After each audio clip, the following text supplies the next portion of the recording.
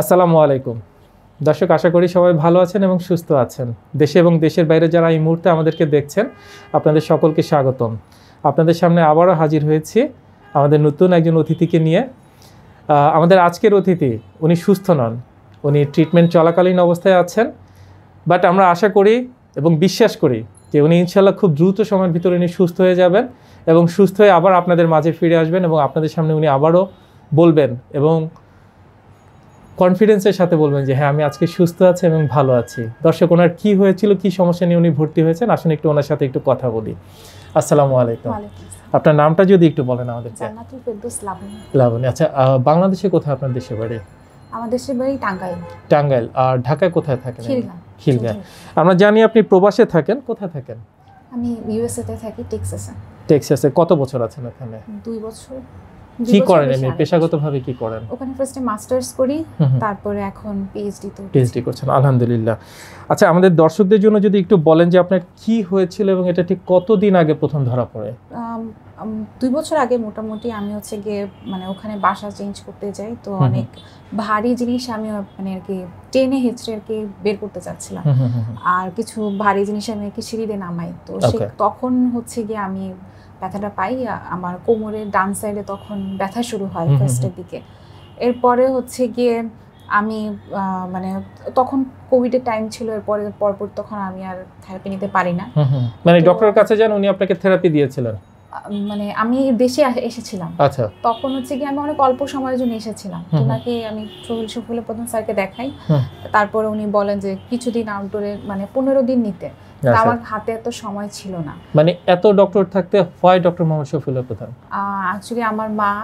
প্রথমে ওনার ট্রিটমেন্ট নেন এবং আমার মার হাড় ক্ষয় হয়ে গিয়েছিল। কতদিন আগে সেটা? টু থাউজেন্ড ফিফটিনে ওকে তো উনি সুস্থ আছেন আলহামদুলিল্লাহ। আমার বড় বোনের টু থাউজেন্ড সিক্সটিনে হচ্ছে গিয়ে একটা মানে মেয়েদের একটা টেস্ট হচ্ছে ডিসপ্লেস হয়েছিল। তো। উনিও আমার বড় বোন এখন সুস্থ আছেন মানে ডক্টর শফিউল্লাহ প্রধান ওনার ট্রিটমেন্ট নিয়ে এবং সেই ভরসে আপনিও আসেন স্যারের হ্যাঁ। কাছে। ওকে এসেছিলাম। কিন্তু ওই সময় আমার হাতে সময় ছিল না। আপনি আবার ইউএসএতে ব্যাক করেন? ব্যাক করি। তো ওখানে যে এক মাসের মধ্যে কোভিড চলে আসে আমি আর কোনো ডাক্তারের সাথে মানে ওখানকার কোনো ডাক্তারের সাথে ইয়া করতে পারি না। এরপরে এক দেড় বছর পর আমার ব্যথা আস্তে আস্তে বাড়তে থাকে এবং আমার ব্যথা হচ্ছে হাঁটুতে মানে হাঁটুতেও আমার ব্যথা শুরু আচ্ছা রেফার হতে থাকে হাঁটুতে? ডান হাঁটুতে ব্যথা শুরু করে তো তখন হচ্ছে গিয়ে আমি ওখানে ট্রিটমেন্ট নেওয়ার চেষ্টা করি। ওখানে ট্রিটমেন্ট নিতে যে হচ্ছে গিয়ে আমার মানে দেখি যে আমার ডরসামেও ব্যথা মানে ঘাড় এবং পিঠের দিকে তো ওখানে হচ্ছে গিয়ে কাইরোপেক্টিক থেরাপি নিতে যে আমি মানে অ্যাক্সিডেন্টালি ব্যথা পাই। ওকে তো এরপরে এক্স রে এক করান তো ওখানে একটু আমার মেরুদণ্ডের হাতটা একটু বাঁকা মনে হয় তো ওটা দেখে হচ্ছে গিয়ে আমি ওখানে অ্যাজ এ স্টুডেন্ট আমি অত ভালো মানে ইন্স্যুরেন্স বলেন বা অত হাই এক্সপেন্স আমি। বেয়ার করতে এতটা সক্ষম না। আমরা জানি ওখানে একটু বেশি এক্সপেন্স হ্যাঁ, আর আমরা স্টুডেন্ট সো আমাদের জন্য এটা একটু প্রবলেম। তো আমি এরপরে নিয়েছেন দেশে চলে আসবেন। বলে একটা সেমিস্টার ড্রপ দিয়ে দেশে চলে আসি। ওকে ট্রিটমেন্ট নিতে। তো এখানে এসে প্রথমে মানে শুক্ল প্রধান স্যারকে দেখাই।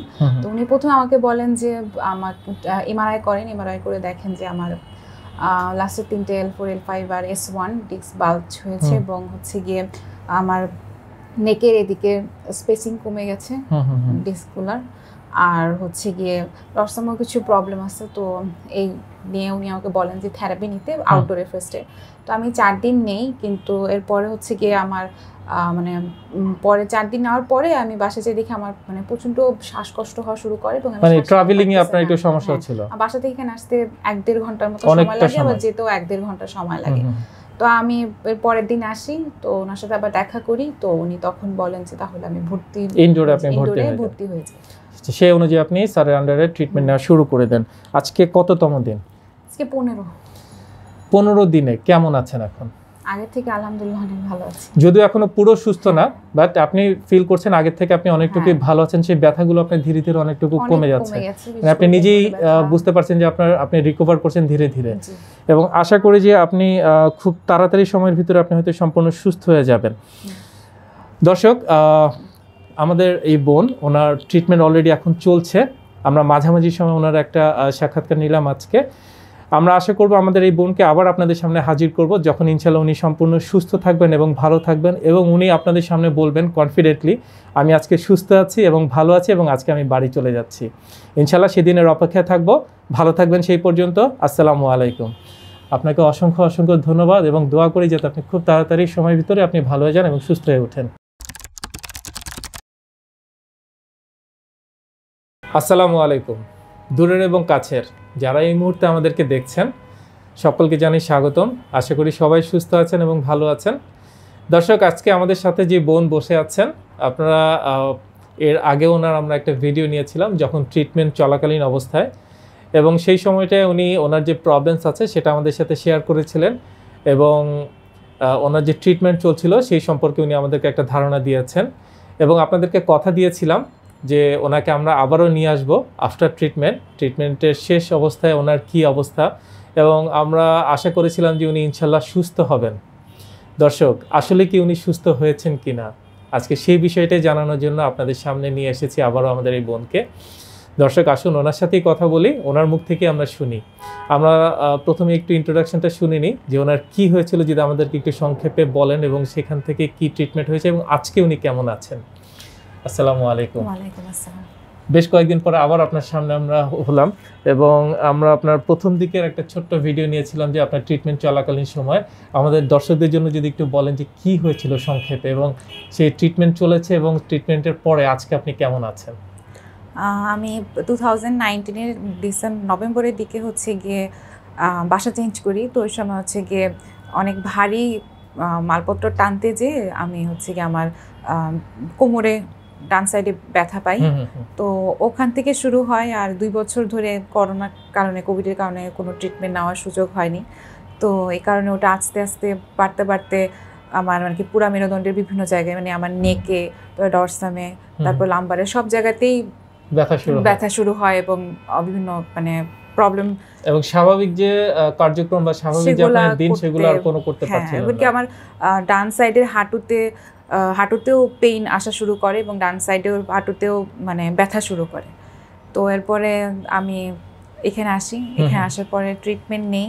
এখানে ব্যায়াম তারপরে বিভিন্ন থেরাপি আকু পাংচার আকু বটমি তারপরে ফায়ার কাপ ড্রাই কাপ তারপরে এমনি নর্মাল অনেক ব্যায়াম ওনার মানে আমাদের ফিজিওথেরাপিস্ট উনি করান। তারপরে ট্রাকশন তারপরে আলট্রাস আলট্রাসাউন্ড তারপরে টেন্স। শর্ট ওয়েভ এগুলা অনেক থেরাপি আমি আজকে একুশ দিন হবে ধরে আচ্ছা। নিচ্ছি। প্রতিদিন কতবার করে করা হতো? তিন বেলা মানে তিন বেলা করে তিনবার করে করানো হয়। আচ্ছা। আর সবগুলো না কিন্তু ওই যে পর্যায়ক্রমে সবগুলো প্রতিদিন করা তো সম্ভব না। তো আর কি কিছু কিছু থাকে যেগুলো মানে দরকার হলে তখনই দেয় এছাড়া। দেয় না। যার যেরকম দরকার হয় অনুযায়ী দেয়। সবচেয়ে বড় প্রশ্ন যেটা সবাই আসলে জানতে চান কেমন আছেন এই মুহূর্তে? আলহামদুলিল্লাহ ভালো আছি। আপনার সেই ব্যথাগুলোর কি অবস্থা? কোমর ব্যথা? অনেক আল্লাহর মতো অনেক কম। আর হচ্ছে গিয়ে এখন মানে এখন স্বাভাবিক চলাচল করতে পারছেন? হ্যাঁ। স্বাভাবিক সব কাজে কি করতে পারছেন? এখনও তো বাসা যাইনি কিন্তু হ্যাঁ এখন নর্মালি হাঁটা চলা কিংবা উঠা বসা এগুলাতে প্রবলেম হচ্ছে না। মানে আগে আমরা তো আমাদের শরীরের ভিতরে বুঝতে পারি যে হ্যাঁ আমি এখন ভালো আছি সুস্থ হ্যাঁ, আছি। সেটা কেমন ফিল করছেন? হ্যাঁ আমি এখন সুস্থ আছি। এই যে সুদূর আমেরিকা থেকে আসা যেই চিকিৎসার জন্য আসা এতগুলো পথ পাড়ি দিয়ে আসা যেটার জন্য এসেছেন আপনার কি মনে হচ্ছে যে সেই ইচ্ছাটা আপনার পূরণ হয়েছে বা যে যার জন্য এসেছে সেটা পূরণ হয়েছে? হ্যাঁ অবশ্যই। এই মুহূর্তে যারা আপনাকে দেখছেন পৃথিবীর কোটি কোটি মানুষ এই মুহূর্তে আপনাকে দেখছেন তাদের জন্য যদি কিছু বলেন। তাদের জন্য হচ্ছে গিয়ে মানে জীবনে কাজ করার সময় আমাদের কিছু বেসিক নিয়ম মেনে চলা উচিত যেটা আমি একবার করতে ভুল করে ফেলছি। এবং সেটা মানে এখন এত বড় কিছু হয়ে গেছে। অনেক বড় মাসুল দিতে হয়েছে। সেটাই যে এগুলা বেসিক কিছু নিয়ম যে কোনো জিনিস উঠানো বা আমাদের হাঁটা চলা উঠা বসা শোয়া এগুলার যে কিছু মৌলিক নিয়মগুলো আছে সেগুলো আমাদের সবারই জানা উচিত। যেটা আমি হয়তো ভুল করেছি সেটা যাতে অন্য না কেউ করুক। আর হ্যাঁ যদি কারও এরকম হয়ে থাকে তারা মানে লাইফটা শেষ কিংবা লাইফে অনেক কিছু হারিয়ে গেছে এরকম না। ট্রিটমেন্ট নিয়েও ভালো মতো মানে লাইফ লিড করা যায় এবং ঠিক হয়ে যাওয়া যায়। এটাই। আলহামদুলিল্লাহ। আপনারা এখানে আসতে পারেন ট্রিটমেন্ট নিতে পারেন। যদি এই টাইপের কোনো প্রবলেম আপনারা ফেস করেন ডিপিআরসিতে এসে ট্রিটমেন্ট নিতে পারেন। আমি উপকৃত হয়েছি আমি রহমতে ভালো হয়েছি। আপনারাও যদি এরকম প্রবলেম ফেস করেন তাহলে এখানে এসে ইনশাল্লাহ ভালো হবে। আলহামদুলিল্লাহ। ধন্যবাদ। দর্শক আমাদের এই বোন দেখুন ওনার মা এখানে ট্রিটমেন্ট নিয়েছিলেন, ওনার বোন ট্রিটমেন্ট নিয়েছিলেন এবং সর্বোপরি সেই বিশ্বাসে উনি নিজেও এসেছেন এবং আসার পরে স্যার যে অ্যাডভান্স রিহ্যাব ট্রিটমেন্ট সেটা গ্রহণ করেন এবং আজকে উনি নিজেও সুস্থ আছেন, ভালো আছেন এবং উনি আগামী জানুয়ারিতে ইনশাল্লাহ আবারও উনি ফ্লাই করবেন আমেরিকার উদ্দেশ্যে এবং আশা করা যায় যে স্বাভাবিক জীবনে উনি থাকবেন। দর্শক, উনি আপনাদের জন্য ছোট ছোট কিছু পয়েন্ট বলেছেন। সবশেষের কথাগুলো যদি আপনারা একটু ভালো করে শোনেন যে যদি আপনারা চিকিৎসা নেন, আপনারা ভালো থাকবেন। এবং সঠিক নিয়মকানুন যদি আপনারা মেনে চলেন, সঠিকভাবে যদি আপনারা চলেন, আপনারা সারাটা জীবন ভালো থাকবেন। এটাই হচ্ছে সবচেয়ে বড় কথা। পৃথিবীতে নাই বলতে কোনো শব্দ নাই। আল্লাহ পৃথিবীতে যত ধরনের রোগ দিয়েছেন সব কিছুর নিরাময় আল্লাহ দিয়ে দিয়েছেন। শুধুমাত্র আমাদেরকে একটু খুঁজে নিতে হবে। ধন্যবাদ আপনাদের সকলকে আমাদের সঙ্গে থাকার জন্য। আসসালামু আলাইকুম। আপনাকে অসংখ্য অসংখ্য ধন্যবাদ। আসসালামু আলাইকুম। আপনাকে অনেক ধন্যবাদ।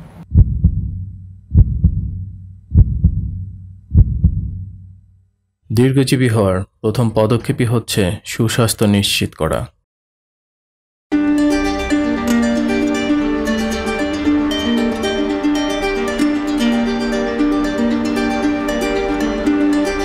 দেহ ও মন ভালো থাকলেই ভালো থাকে স্বাস্থ্য।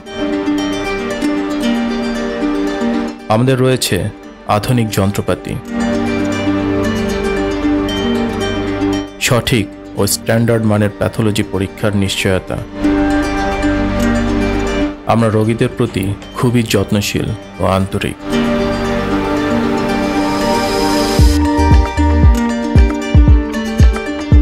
আমরা সর্বপ্রথম প্রতিটি রোগীর সঠিক রোগ নির্ণয় করি, এরপর রোগ অনুযায়ী অপারেশনবিহীন চিকিৎসা দিয়ে থাকি। আমাদের প্রতিটি ডক্টর, নার্স ও থেরাপিস্ট প্রশিক্ষণপ্রাপ্ত ও দক্ষ। আমরা প্যারালাইসিস রোগীদের নতুন করে চলতে শিখাই।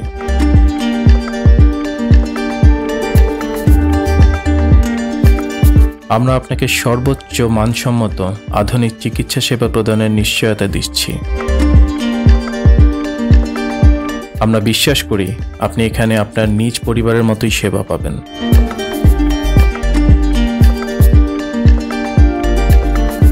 বাত ব্যথা প্যারালাইসিস ও আর্থ্রাইটিসের একটি নির্ভরযোগ্য প্রতিষ্ঠান। আমরা চাই না আপনারা বারবার আমাদের কাছে ফিরে আসুন। তবুও আমরা আছি সবসময় সর্বদা আপনাদের পাশে TPRC hospital and diagnostic lab limited. আস্থা বিশ্বাস ও নির্ভরতায় অবিচল।